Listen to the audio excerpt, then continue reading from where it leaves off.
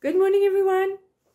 Um, I'm loving my workspace and I'm looking at people's products and things like that. And I if you see my two friends here at the back. My sister-in-law knits them by hand. They're so cute, these scarecrows. They've even got little bugs and little mice on their hats and bugs on their shoes. It's very cute and all different ones. And she uses up all scraps of wool. I think she's very talented.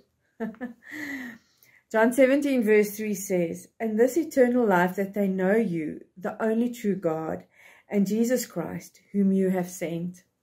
And it just seems like such a sort of fragment of scripture. You can see that it belongs somewhere else.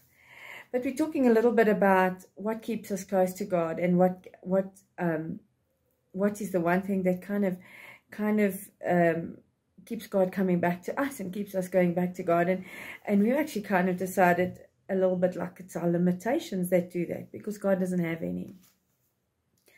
Um, and that's the one thing, our bodies have limitations. This physical form of us has a limitation. It does not last forever. It does come to an end. Um,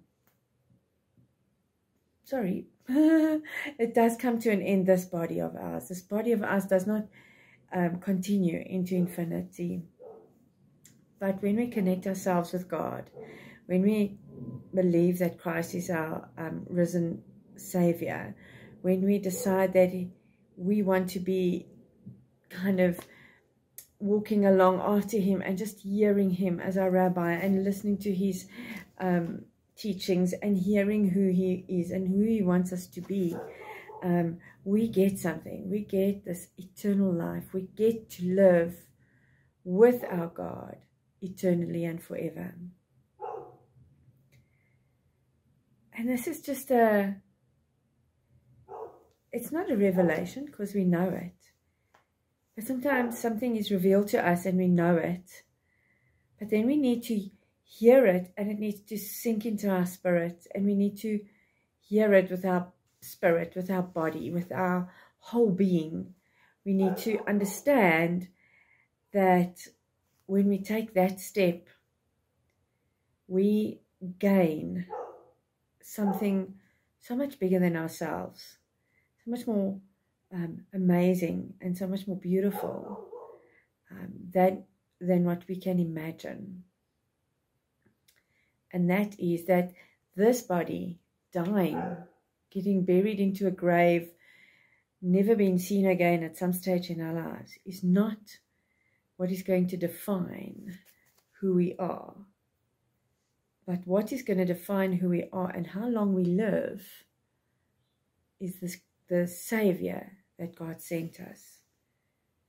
And that we can hold on to that.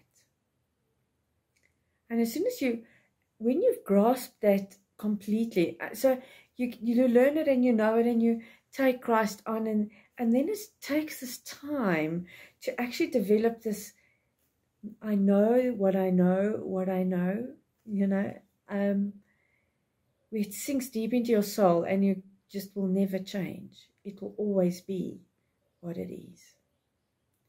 So I encourage you to actually ponder this thought.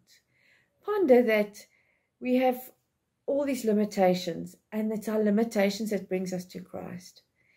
And one of the big limitations is we rush around life trying to experience in this physical body the most and the best that we can um, with the possessions that we have and the places that we visit and the experiences that we try and um, experience.